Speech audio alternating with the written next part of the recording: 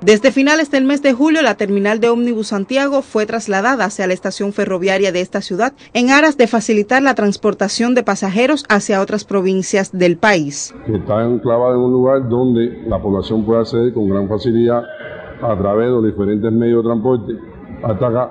Pero además, como podemos apreciar, en este lugar se ha podido lograr todo el confort necesario para que ellos, en horario que esperen su transporte, tengan toda la comodidad. Hábleme entonces de los horarios de la, de del transporte de las guaguas. Bueno, nosotros tenemos varios horarios. Esta terminal trabaja 24 horas. Durante 24 horas realizamos alrededor de 47 operaciones entre salida y entrada. Fundamentalmente los clientes se preocupan mucho por la salida de La Habana.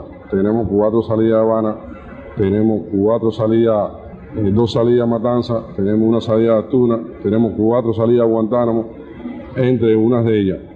Pero bueno, para todos los destinos hay salida. La población debe conocer de que hemos tenido algunos atrasos durante, pero bueno, ya esto refiere al tema de transporte que en estos momentos no tenemos las piezas necesarias. Los pasajeros que deseen eh, hacer reservaciones para los diferentes destinos, ¿cómo, ¿cómo se pueden hacer? Aquellos clientes que quieran obtener reservaciones para diferentes destinos pueden llegarse a un punto de venta que se encuentra en Aguilera y aquí aledaño a esta instalación también hay otro punto para reservar su pasaje, que estos boletos se reservan con alrededor de 90 a 60 días. A pesar del poco tiempo que lleva en funcionamiento, la nueva terminal cuenta con diferentes áreas y servicios, algunos de ellos todavía en reparación. La terminal cuenta con un salón de estar para Vía Azul, o sea, moneda nacional, cuenta con un salón con capacidad para 120 para la moneda nacional, o sea, aquellos clientes que con antelación hayan adquirido su boleto así como un segundo nivel donde todas las áreas socioadministrativas.